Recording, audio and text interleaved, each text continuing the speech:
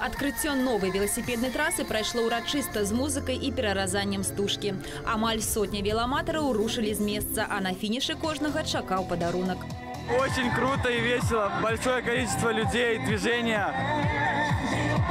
Эмоции, эмоции, эмоции зашкаливают. Наконец-то в наших Чаусах открылась велодорожка, на которой можно абсолютно спокойно кататься и не мешать окружающим людям. Зараз гэта не толькі любімае месца пакатушак. Веладарожка злучае цэнтральную частку горада і новы мікрараён, што стала не толькі зручна, але і бяспечна. Данная дорожка будет являться значительным подспорьем укрепления безопасности дорожного движения, позволит безопасно передвигаться велосипедистам по территории микрорайона и улиц города Чауса.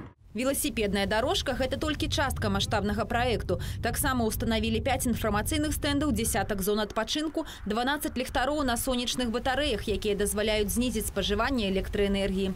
І 17 сучасных велапаркінгаў. Адны ў выглядзе ліста, каб лішні раз нагадаць пра неабходнасць захоўваць экалогію, два ў выглядзе веласіпедаў, зробленыя па індывідуальнаму заказу. Аналагу якім пакуль няма. Человек может пристегнуть к такой велопарковке сразу два колеса и, тоже, и ту же раму велосипеда.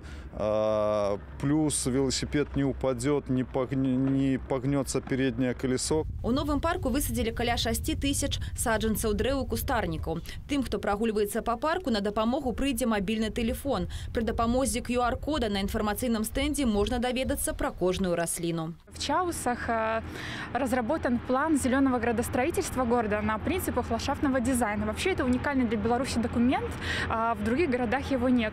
Большую частку фінансавання на рэалізацыю праекта выдзеліў Еўрасаюз. Праект пагаднення мэраў таксама яго ініцыятыва, у рамках якой мясцовая ўлада ўзяла на сябе абавязак рабіць свой горад экалагічна чыстым. К слову, чавусы далучыліся да праекту першымі. Ставка сделана в новый микрорайон. Это молодые семьи, это маленькие детки, мамы их. Вот они своим примером, чтобы с первых дней жизни видели, как надо беречь, как надо жить, правильно жить, здоровый образ жизни, Мы таксама вырашылі перасесть на самы экалагічны від транспарту і знізіць выкіды парніковых газаў паветра.